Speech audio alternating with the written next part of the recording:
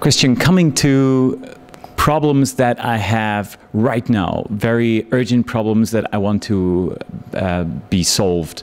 Can Ciklum help me with these urgent problems, or is the work, uh, the cooperation with Ciklum uh, more based on a very long-term relationship? Uh, is it also possible to to manage peaks that I have during during um, my regular uh, work?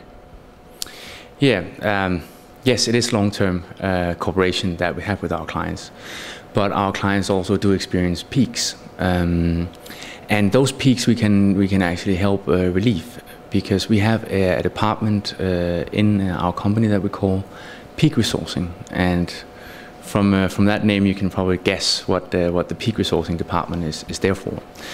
But what it is is that it's a uh, database of uh, approximately uh, 3,000 uh, IT specialists within a number of different areas. So traditional consultants uh, that live off being consultants.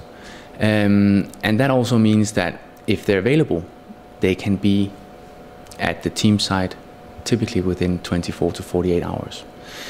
And within that database, you find people in all sorts of, of different technologies. It can be all from people that are black belt in um, Salesforce.com integration, Apex. It can be black belt, DBAs, etc., etc. And these are these are sort of rare skills that you would not necessarily have uh, as a full-time uh, skill set within your team. Um, that's when uh, when we can help with the with the peak resourcing.